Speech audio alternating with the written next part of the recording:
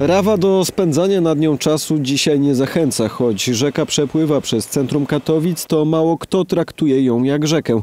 Metropolia i Uniwersytet Śląski chcą, żeby przestała być postrzegana jak ściek. Zwracają na ten problem uwagę, planując na nowo przestrzeń uniwersyteckiego kampusu. Po pierwsze brakuje rzeki, skoro to mamy koryto, którym płynie płyn. Wiemy, że to nie jest y, woda w czystym tego słowa znaczeniu. Chcielibyśmy wokół tej rzeki, zakładając, że y, dzięki temu to będzie fajne miejsce relaksu, chciałabym właśnie móc spotykać się w tej przestrzeni.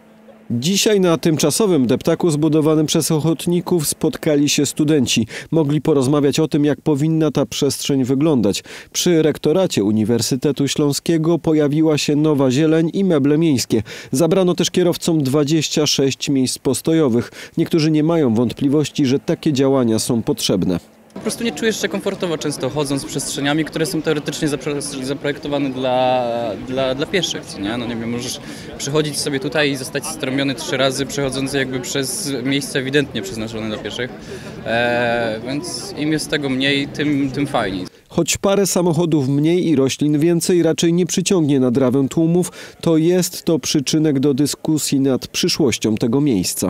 Myślę, że to jest dobry początek do kolejnych zmian, które mogą e, się przerodzić na zmianę wizerunku rzeki e, w ogóle w całym mieście. E, Ja jestem z Zawodzia i piszę projekty właśnie odnośnie przestrzeni bulwaru Wrawy, która jest na Zawodziu.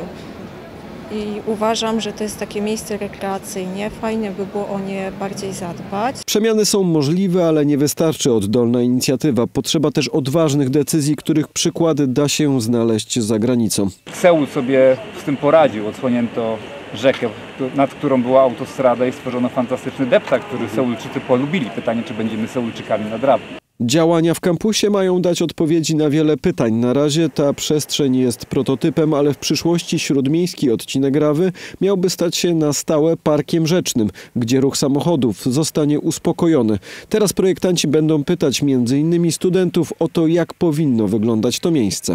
Tej wiedzy chcemy potem użyć, chcemy ją wykorzystać do, i zaabsorbować do projektu e, e, przebudowy tego miejsca, bo na podstawie tych wszystkich działań partycypacyjnych, projektowych będzie powstawała koncepcja przemiany, czy to Doliny Rawy, czy e, kampusu uniwersyteckiego. Pomysłów na przywrócenie Rawy do życia i apeli o zajęcie się rzeką było już wiele. Być może tym razem uda się faktycznie zrobić tu małą rewolucję, bo Katowice zostaną europejskim miastem nauki w 2024 roku.